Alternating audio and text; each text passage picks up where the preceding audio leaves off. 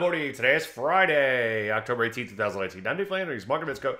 Well, P's hit it a little bit higher, better than of the eye, I suppose. Not too far from all time highs, but obviously you still have to get there. Normally, I'd be a little bit more bullish when we're this close to all time highs, but I'm still seeing a plethora of shorts. Take a look at NASDAQ. Started kind of strong, ended okay, up a little bit more than a third of a percent, a little bit less than a half percent, I guess I should say. As you can see, though, still looks kind of toppy in here. Not too far from all-time highs, though. Take a look at the Rusty. The Rusty finally bringing up the rear. Look at that percent and change. Still has a lot of work cut out for it to get out of this range, and it obviously has a long ways to go to get to new highs. So what do we do? Well, again, I'm seeing a lot of shorts, but make sure you wait for entry in light of this recent strength.